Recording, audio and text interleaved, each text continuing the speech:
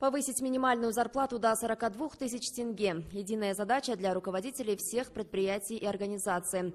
За выполнение поручения президента актюбинские бизнесмены должны взяться уже сейчас, чтобы в начале следующего года работа в данном направлении была поставлена на правильные рельсы. шаруашылықтар э, компаниялар барлықтары да э, жалақы көбею у нас осталось мало времени на организационную работу, на то, чтобы создать комфортные условия для каждого актюбинца. Ни один из работающих граждан не останется в стороне. Хочу отметить, что поручение президента касается всех предприятий, в том числе малого и среднего бизнеса. Повышать зарплату своим рабочим будут самые мелкие ИПшки. Минимальная заработная плата в 2019 году должна вырасти на полтора процента. По информации руководителя управления экономики и бюджетного планирования Гулькасимы Суинтаевой, проект закона в настоящее время рассматривается в парламенте.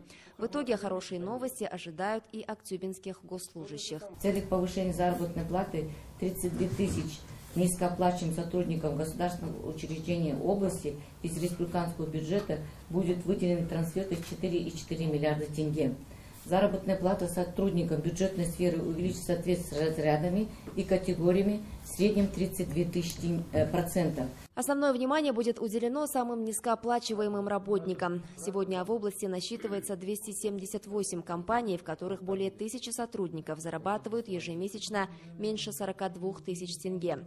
Львиная их доля задействована в таких сферах, как промышленность, строительство, образование, здравоохранение и сельское хозяйство. сол мекемеде шаруашылықта кәсіпорында қаншадан төменгі жалақы алады вы считайте, пожалуйста, правильно. Во-первых, выясняем количество тех рабочих, которые получают минимальную зарплату, то есть меньше 28 тысяч, и повышаем им до 42 тысяч. Затем считаем тех, кто зарабатывает, к примеру, 50 тысяч ежемесячно. Они тоже должны с нового года получать свои 10-15%. Крупные компании области обязуются обеспечить своим подопечным благоприятные условия для жизни, повысить в разы оплату за труд.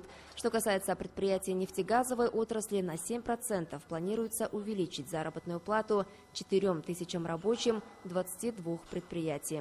бұл салада кәсіпорындар жалпы орта есеппен он пайызға дейін жұмыс барлап отыр мы сейчас работаем над тем, чтобы разъяснить на местах все нюансы данного новшества, донести до представителей бизнеса, что повышение хоть на 5, хоть на 10% коснется всех слоев рабочих. В целом предприниматели согласны изыскать внутренние резервы и должным образом благодарить сотрудников за труд. Руководители управлений и районных акиматов пообещали, что соответствующая работа будет выполнена в срок. Каждому из собравшихся были даны конкретные поручения.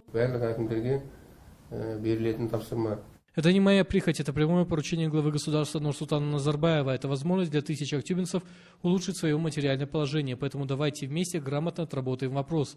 Нужна достоверная информация о численности работающего населения, остальное за малым. Все в наших руках. Айсулу Махмутова, Самат Каликенов, телеканал Ахтубе.